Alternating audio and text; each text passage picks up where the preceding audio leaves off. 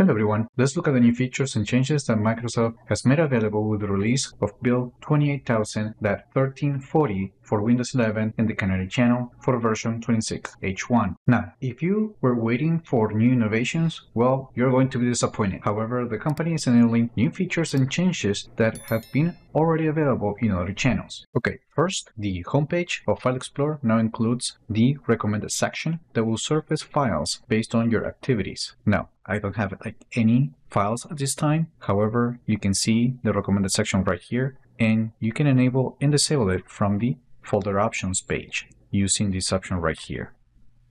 And that will restore the quick access section on the home page. Now, if we go to the settings tab, more specifically to the advanced page, we're going to see that this page now includes the enable long path option that allows you to remove the max path limitation for common Win32 files and directory functions. Now, if we go to accounts, we're going to notice that the email and accounts page has been renamed to your accounts. And then when you go to the page, you're going to notice sign design changes to the page. Now, if we go to the contrast themes page, now in here, we're going to find the setting to control the keyboard shortcut for contrast themes. This option was previously available only on control panel. Now, if we go to the taskbar page,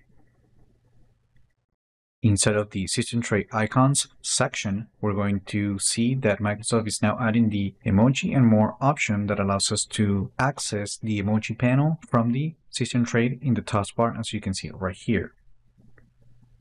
You can always change the option to appear only when you're typing on an application or you can disable using the never option.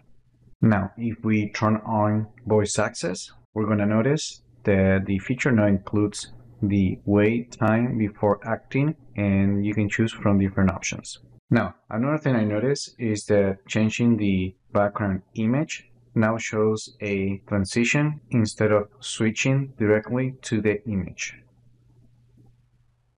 I'm not completely sure if this is new to this preview or if this was always the intent, but if we go to the current version of the operating system, if we try to switch, you're going to notice that there are now transitions. The desktop just changes the wallpaper. And that's it. Those are pretty much all the biggest changes that we're going to see on Windows 11 build 28000.1340 for Windows 11 version 26H1. Now, one thing that I wanted to point out is that Microsoft is temporarily disabling the administrator protection feature and it is fixing a problem with storage spaces. And that's it. Remember to leave your comments like the video, share it, subscribe to the channel if you haven't done that yet, and I just hope this video was informative for you, and I would like to thank you for viewing.